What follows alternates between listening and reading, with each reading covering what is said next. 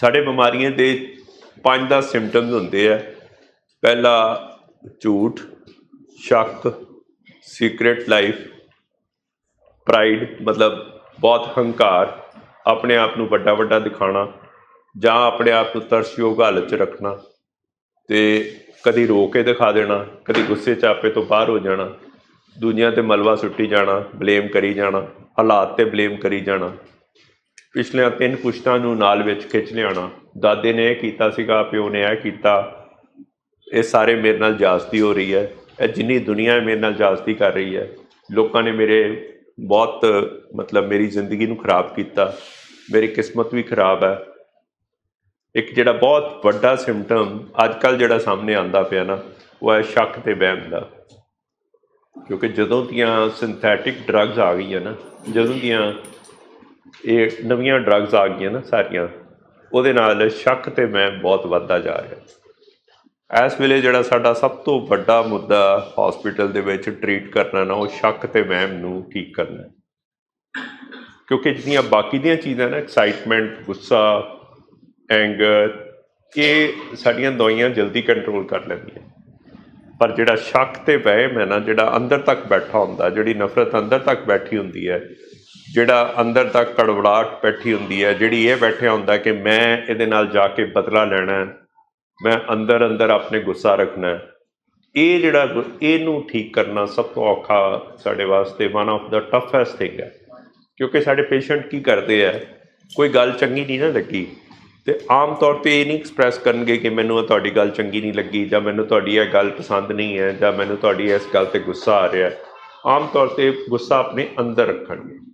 ਤੇ ਲੱਗੇਗਾ ਇਸ ਤਰ੍ਹਾਂ ਹੀ ਕਿ ਪੈਸੇ ਵਗੇ ਆ ਵੀ ਇਹਨੂੰ ਫ਼ਰਕ ਨਹੀਂ ਪਿਆ। ਪਰ ਅੰਦਰੋਂ ਅੰਦਰ ਅੰਦਰੋਂ ਅੰਦਰ ਆਪਣੇ ਰਿੱਝਦਾ ਰਹੇਗਾ ਉਹਨਾਂ ਦੇ ਐਂਡ ਜਦੋਂ ਰਿੱਝਦਾ ਰਹਿੰਦਾ ਫਿਰ ਇੱਕ ਦਿਨ ਫਟ ਪੈਂਦਾ। ਪਰ ਜਦੋਂ ਰਿੱਝਦਾ ਰਹਿੰਦਾ ਨਾ, ਫਿਰ ਉਹ ਕਾਫੀ ਹੱਦ ਤੱਕ ਸਾਡੀਆਂ ਸਾਈਕੈਟ੍ਰਿਕ ਪ੍ਰੋਬਲਮ ਤੇ ਮਾਨਸਿਕ ਬਿਮਾਰੀਆਂ ਬਣ ਜਾਂਦਾ ਤੇ ਬ੍ਰੇਨ ਡਿਸਆਰਡਰ ਬਣ ਜਾਂਦੇ। ਤੁਸੀਂ ਅਕਸਰ ਦੇਖੋਗੇ ਸਾਡੇ ਪੇਸ਼ੈਂਟ ਜਿਹੜੇ ਆ ਨਾ ਵਾਇਲੈਂਟ ਘੱਟ ਹੋਣਗੇ। ਅੰਦਰ ਜ਼ਿਆਦਾ ਗੁੱਸਾ ਰੱਖਣਗੇ, ਅੰਦਰ ਸ਼ੱਕ ਰੱਖਣਗੇ, ਅੰਦਰ ਗੁੱਸਾ ਰੱਖਣਗੇ, ਅੰਦਰ ਰੰਜਿਸ਼ ਰੱਖਣਗੇ ਰਿਜ਼ੈਂਟਮੈਂਟ ਰੱਖਣਗੇ। ਕਿਸੇ ਨੇ ਕੋਈ ਗੱਲ ਕਹੀ, ਉਹਨੂੰ ਹਮੇਸ਼ਾ ਯਾਦ ਰੱਖਣਗੇ। 10 ਸਾਲਾਂ ਬਾਅਦ ਵੀ ਉਸ ਗੱਲ ਨੂੰ ਉਸ ਤਰ੍ਹਾਂ ਹੀ ਰਿਪੀਟ ਕਰਨਗੇ, ਜਿਸ ਤਰ੍ਹਾਂ ਉਹਨਾਂ ਨਾਲ ਅੱਜ ਗੱਲ ਹੋਈ ਹੋਈ ਹੈ। ਜੇ ਕੋਈ ਗੱਲ ਭੁੱਲਣ ਲੱਗੇਗੀ ਤਾਂ ਉਹਨੂੰ ਦੁਬਾਰਾ ਤੋਂ ਰਿਮਾਈਂਡ ਕਰਾ ਕੇ, ਯਾਦ ਕਰਕੇ ਉਹਨਾਂ ਦੇ ਦਿਮਾਗ 'ਚ ਘੁੰਮਦੀ ਰਹੇਗੀ ਰੂਮੀਨੇਸ਼ਨ ਹਰ ਵੇਲੇ ਉਸੇ ਚੀਜ਼ ਬਾਰੇ ਸੋਚਦੇ ਰਹਿਣਾ। ਇਹਦੇ ਨਾਲ ਸਾਡੀ ਦੁਸ਼ਮਣੀ ਹੈ। ਫਿਰ ਇੱਕ ਉਹਨਾਂ ਨੂੰ ਇਹ ਬੜਾ ਹੁੰਦਾ, ਇਹਦੇ ਨਾਲ ਦੁਸ਼ਮਣੀ ਹੈ, ਇਹਦੇ ਨਾਲ ਦੁਸ਼ਮਣੀ ਕੱਢਣੀ ਹੈ, ਇਹ ਤਰ੍ਹਾਂ ਬਦਲਾ ਲੈਣਾ ਜਦੋਂ ਮੌਕਾ ਮਿਲੇਗਾ, ਮੈਂ ਜਾ ਕੇ ਬਦਲਾ ਲਵਾਂਗਾ। ਇਹ ਇਹ, ਇਹਨੇ ਇਹਦੇ ਨਾਲ ਨਿਚਟਾਂਗਾ ਮੇਰੇ ਇਹਨੇ ਹਾਲਾਤ ਖਰਾਬ ਕੀਤੇ ਹੈ। ਉਹਨਾਂ ਨੂੰ ਇਸ ਚੀਜ਼ ਨਾਲ ਪਾਵਰ ਮਿਲਦੀ ਹੈ।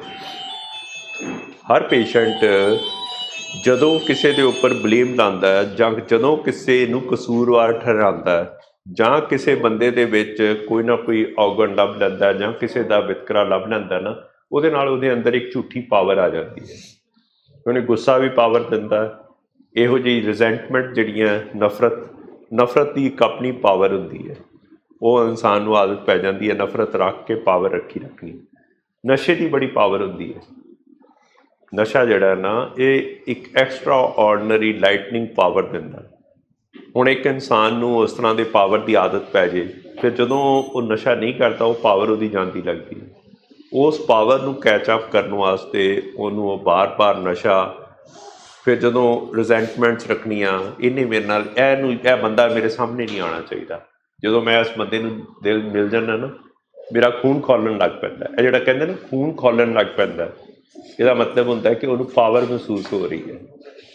ਹੁਣ ਉਹ ਚੀਜ਼ ਨੂੰ ਉਹ ਭੁੱਲਣ ਨਹੀਂ ਦੇਣਾ ਚਾਹੁੰਦਾ, ਭੁੱਲਣ ਤਾਂ ਨਹੀਂ ਦੇਣਾ ਚਾਹੁੰਦਾ ਕਿਉਂਕਿ ਜਦੋਂ ਉਹਦੇ ਬਾਰੇ ਕੋਈ ਚੰਗੀ ਗੱਲ ਕਰਦੇ ਜਾਂ ਉਹਦੀ ਕੋਈ ਛਿਆਈ ਕਰਦੇ ਤੇ ਫਿਰ ਉਹ ਪਾਵਰ ਆਪਣੀ ਇੰਜ ਲੱਗਦਾ ਕਿ ਬੰਦਾ ਪਾਵਰਲੈਸ ਹੋ ਰਿਹਾ। ਤੇ ਸਾਡੇ ਪੇਸ਼ੈਂਟਸ ਹੁੰਦੇ ਪਾਵਰਲੈਸ ਹੈ, ਅੰਦਰੋਂ ਪਾਵਰਲੈਸ ਹੁੰਦੇ ਆ, ਪਰ ਉਹ ਕਿਸੇ ਨਾ ਕਿਸੇ ਝੂਠੀ ਪਾਵਰ ਨੂੰ ਆਪਣੇ ਨਾਲ ਜੋੜ ਕੇ ਜਿਹੜੀ ਕਿ ਬਿਹੇਵੀਅਰ ਹੋਏਗੀ, ਜਿਹਦੇ ਨਾਲ ਡੋਪਾਮਾਈਨ ਵਧੇ, ਜਿਹਦੇ ਨਾਲ ਅੰਦਰ ਦੇ ਅੰਦਰ ਕੋਈ ਇਹੋ ਜੀ ਪਾਵਰ ਮਹਿਸੂਸ ਹੋਏ ਕਿ ਜਿਹਦੇ ਨਾਲ ਉਹਨੂੰ ਝੂਠੀ ਪਾਵਰ ਮਹਿਸੂਸ ਹੁੰਦੀ ਹੈ। ਸੋ ਸਾਡੇ ਜਿਹੜੇ ਪੇਸ਼ੈਂਟਸ ਹਨ, ਉਹ ਕਿਤੇ ਨਾ ਕਿਤੇ ਇਸ ਝੂਠੀ ਪਾਵਰ ਨੂੰ ਆਪਣੇ ਅੰਦਰ ਰੱਖਣਾ ਚਾਹੁੰਦੇ ਆ।